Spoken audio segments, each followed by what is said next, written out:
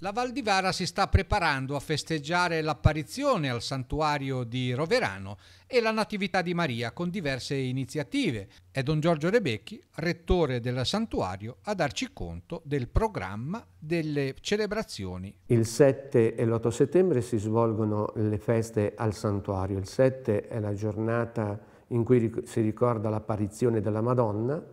Al mattino c'è la messa dalle 8, 9, 10 e 11 eh, alle 11 la messa solenne che tradizionalmente è celebrata dal parroco di Lago e nel pomeriggio alle 16 la benedizione dei bambini con l'offerta dei fiori alla Madonna, alle 17 il canto del Vespro e la processione.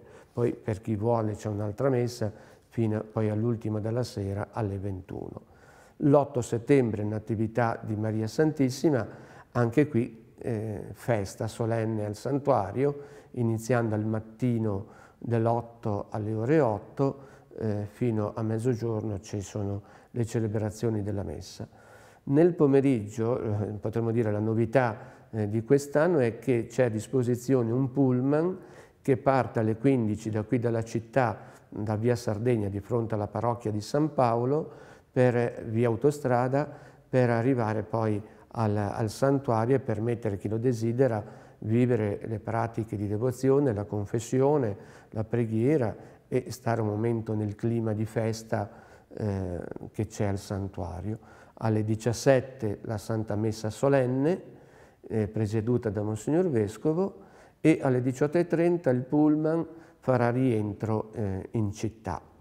E nelle, nuovamente poi si chiuderà la celebrazione della giornata alle 21 con la Santa Messa. Il giorno dopo c'è anche il ricordo per i devoti e defunti e benefattori defunti alle 17 il 9 di settembre.